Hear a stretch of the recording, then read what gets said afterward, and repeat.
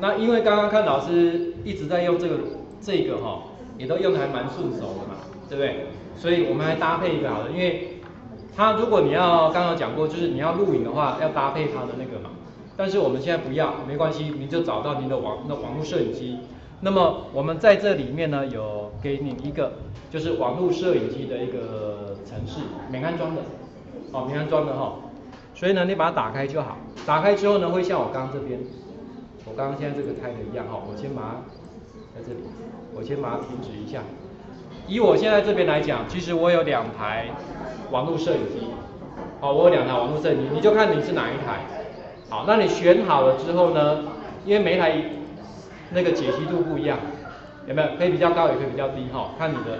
那假设我要比较，一般来讲，大部分老师都希望不要怎么样。太招摇。这个有小标吗？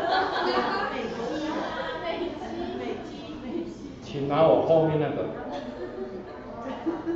现在那个手机的外挂镜头很多。外挂，外挂，对啊，对啊。哎，那个可以挂在这里。那个就直接挂在那里，也可以挂在网络摄影机上面哦。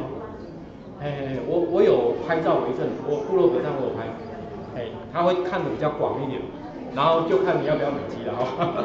好，那假设我这样选好了，我就按 Start，这样是不是就抓到我画面了？好，那么我们现在来看哦，这个时候如果您假设我回到网页或者我的简报，是不是就被盖住了？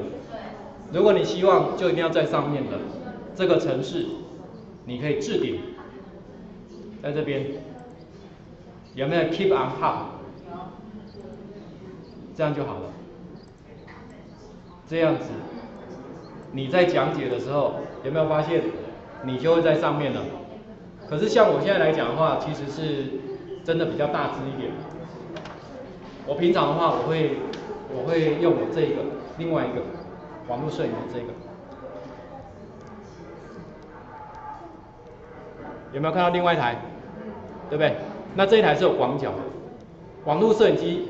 这个我已经买到最顶级的，三千多块，嘿，三千多块啊，所以是最顶级的，跟你的手机比起来是最低级的，但是它这个是有广角，所以我们在拍，像我现在是不是很近？我们一般用 notebook 也尝试这样子，就是跟人家做视讯，我好大，对不对？看起来会不舒服啦，所以我我会用这个罐，就是用那个加一个手机的那个外挂镜。好，广角镜，那我就可以让这个现场变得比较宽，不会说那么近。那我这样操作，是不是都都可以录得到了？当然，如果你想要退下去的，就让它退位吧。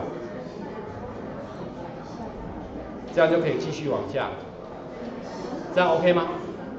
可以哈。所以其实如果你要搭配这个 IPEVO 这个软体的话，其实你搭配这样，实际上就蛮好用的。就看你什么时候要出现再来。